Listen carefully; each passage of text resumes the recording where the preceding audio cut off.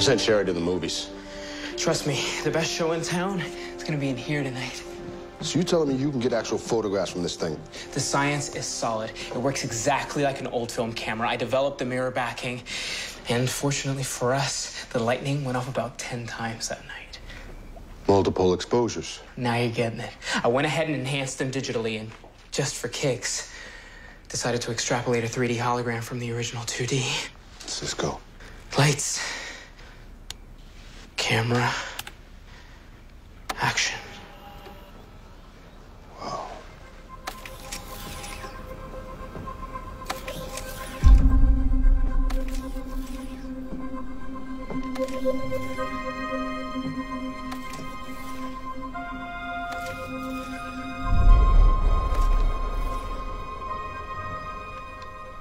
You play it again?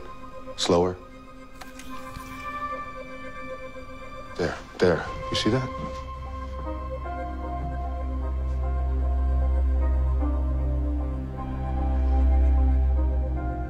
Next frame.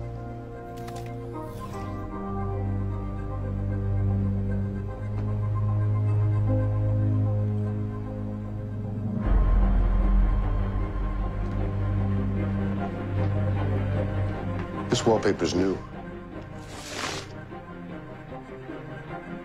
Oh, man. Is that blood? We had a husband who was holding the same weapon that killed his wife. We weren't looking for any other suspects. That blood belongs to one of the two speedsters that was here that night. Maybe the one that killed Nora.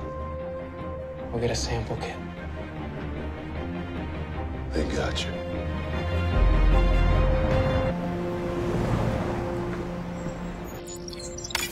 Yes, yes, yes.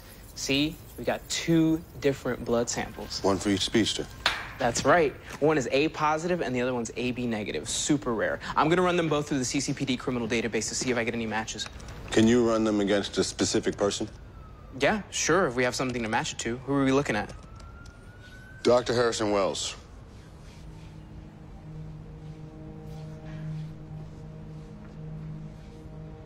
I thought we were trying to solve Barry's mom's murder. We are. And I'm asking you to keep this between us. You think Dr. Wells killed Barry's mom?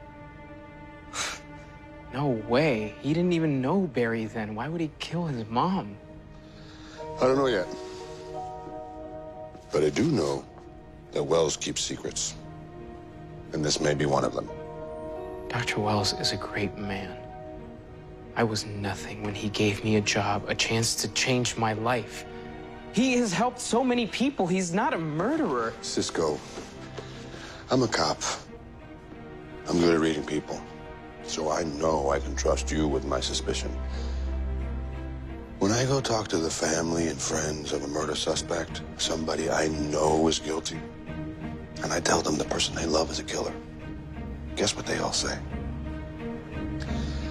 That's not the person I know. I think I'm done being a cop for today.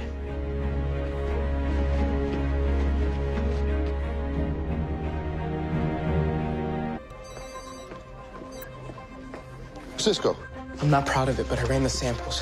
One wasn't identified, and the other had a match. Cisco, you're hesitating. Was it Wells? No, it's not Dr. Wells. I told you he has nothing to do with this.